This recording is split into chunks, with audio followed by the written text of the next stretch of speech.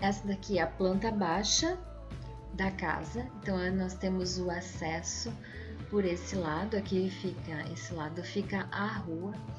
Então, a partir daqui nós temos uma cobertura, temos uma vaga coberta, outra vaga descoberta. E uma varanda que é o acesso principal para a sala de estar.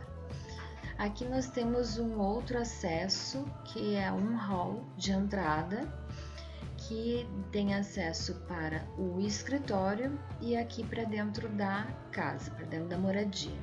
Aqui tem um lavabo. Esse lavabo ele está posicionado de forma que ele pode ser utilizado por quem está no escritório e por quem está na sala.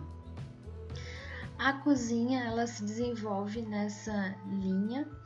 Então temos a cozinha aqui, uma churrasqueira e a lavanderia já com acesso para outra varanda de fundos que é o pátio do fundo da casa.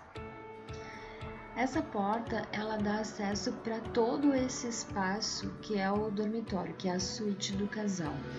Então aqui nós temos a área da cama propriamente dita, a área de banho, que aqui é um box para um chuveiro, aqui é uma banheira e aqui a bancada com duas cubas. Essa parte é o closet do casal e aqui é o espaço do vaso sanitário.